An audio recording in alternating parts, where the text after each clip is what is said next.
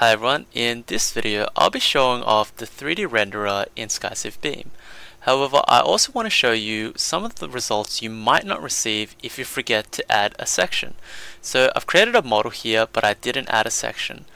I hit the solve button and just waiting for it to solve. So you'll notice I have the free body diagram, I have the shear force diagram, the bending moment diagram, but you'll notice that there's no 3D contour um, and there's no 3D representation of the beam because if you didn't assign a section there is nothing for you to see. Similarly you can't get any deflection results if you didn't specify a section in a material and you can't get stress results either.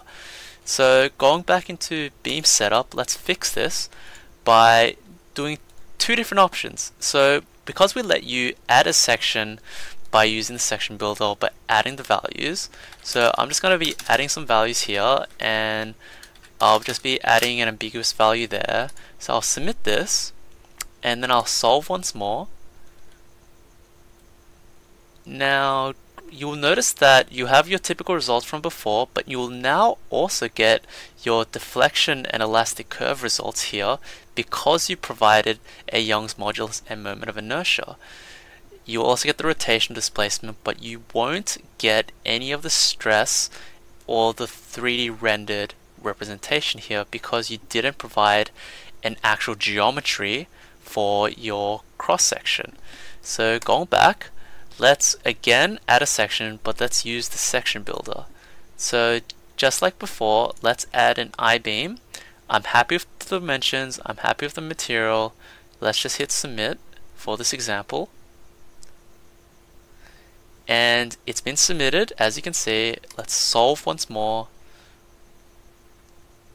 Now if you scroll down once this finishes loading just give it a few more seconds. You'll notice that you'll also have a summary of the beam section here.